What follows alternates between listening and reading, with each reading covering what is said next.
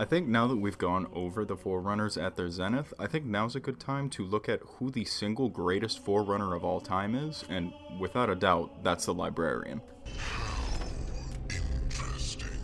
I'd even go as far as to say that the Librarian is the closest thing to a main character that Halo has had since Halo 4 everything that has happened in the Milky Way galaxy over the last 100,000 years is solely because of her. Now, the Covenant, uh, that's kind of its own thing, but this woman controlled how humanity evolved, how their technology would progress, all of it 100,000 years in advance. Now, before I get into why I think she's the best character and you know, fangirl about how much of a girl boss this lady is, I think I have to start with some lore. The librarian is essentially the head life worker, uh, just Think of like the doctors or the biologists of the Forerunner Society. And that's just the smallest accomplishment on her plate. This woman, or Forerunner, sorry, made it to another galaxy entirely. She is the one that went to Path Kethona, and this voyage was the quote unquote largest expedition in recent Forerunner history. And as if that's not enough, she had the balls to just straight up poke a 10 million year old Forerunner armada like it was no big deal. Then goes down to a primitive planet and lets a caveman take a chunk out of her arm. Granted, with how advanced Forerunner technology is and whatnot, this wound wouldn't have been serious. She still let the equivalent of a caveman bite her, just so that way they could make sure they were the same species. Then, as if that isn't cool enough, just because this person bit her, and you know, they, they mingled their saliva or whatever, their DNAs crossed, the helixes combined, Apparently, she can speak that language now, like it's just a normal Tuesday. Not only that, she is the only Forerunner with a sense of humor. Well, after she gets bit, she goes back to the ship, you know, she goes through her diagnostic process, oh yeah, we're the same species, whatnot, comes back and asks the same woman who bit her, hey, you want to bite my other arm? And I know that humor might be such an integral part to human society, but this is the Forerunners. They don't have humor, they don't smile, they don't laugh. They're very serious, they're very duty bound, even if that duty is just wrong. I think one of the things that really holds the librarian back is the fact that she's married to the Didact, two completely opposite ends of the spectrum. And if you've read the Forerunner trilogy of books, you know how everyone else comments on this. In Forerunner Society, to uh, I guess, experience something outside of your rate is really uncommon. And the fact that her husband was so, the ultimate destroyer of life while she is the ultimate preserver of life is a really beautiful duality. Also, I don't know how to fit this in there. Uh, this woman had at least three husbands, and she told the other ones about each other like it was no big deal. Granted, the Forerunners don't view sex the same way we do. That's that's still that's still pretty badass. But moving back to her accomplishments, I think the single largest of her accomplishments is what is sometimes referred to as a geas, or think of like an engrammic implant of a memory like a genetic memory. Like you are born and you innately have all of your ancestors' memories. Like your grandma's pot pie recipe, yeah, that's baked in. These geas are so strong that they are physically able to overpower the main consciousness of the individual.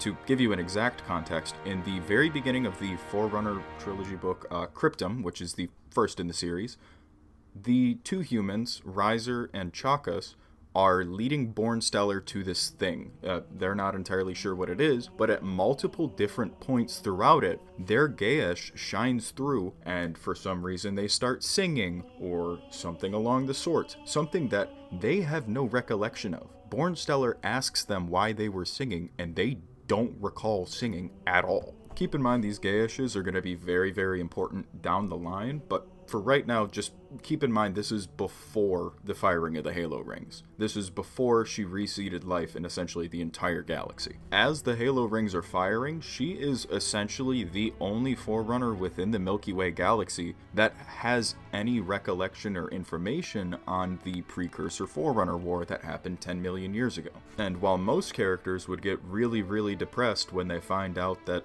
their gods turn their back on them, the librarian uses this as an opportunity to repent or go on like uh, the Halo equivalent of a penitent crusade, minus the killing, because she makes life, not destroys it. That's her husband. When humans are reseeded the second time after the Halo rings were fired, the Halo rings were only fired once, humans have been reseeded on Earth twice. The first time life was reseeded on Earth, she planted in them the memories of ancient scientists and ancient generals so that way humans would be able to rebuild or get back to the precipice that they were once at. The second time after the firing, it was so much more elaborate she actually planned for John 117, John Spartan, John Halo, whatever the hell you want to call him, planned for his birth, his rise, and him discovering the Forerunner shield world of Requiem a hundred thousand years in advance. She had a hologram made of herself. You know that movie trope of the old dude who dies and he somehow has a will that explains everything and he's able to talk to the person? Yeah, the librarian did that a hundred thousand years ago. Because in Halo 4, it's revealed that every single part of humanity's development over the last 100,000 years has been planned for. She planned for the Spartan 2 project. She planned for John 117 to be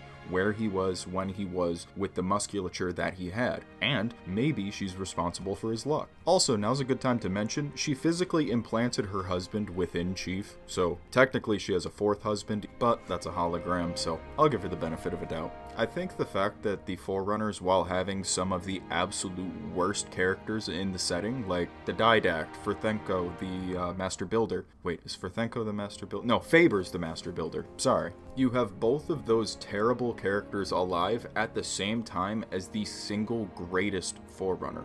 The Librarian could have just laid down after the firing of the rings and accepted her fate, but she decided to go so far above and beyond to fix the mistakes of her forebears that it's so admirable, it's so beautiful that in the yin there is the yang. Granted, it's one dot of light in the darkness, it's still nice to see that there is the dot. I know that we've probably seen all that there is to see of the librarian in Halo, but it's so depressing that Halo 4 and Halo 5 built up this great, great story that really could have gone with the UNSC you know, discovering the truth of the precursors, discovering the precursor homeworlds. But instead, we get a new faction that just came out of nowhere. Granted, the created aren't terrible, and we do get some really cool lore from them, it's not what could have been. Think of what could have been if humanity had gone to Path Kethona, discovered the ancient Forerunner fleet, discovered exactly what happened between the Forerunners and the Precursors, discovered their technology from their zenith. So many things could have happened, and they just forgot about them. I don't know, that's enough rambling for this video. I just wanted to talk about the single greatest girl boss to ever exist in any form of media ever. Bye.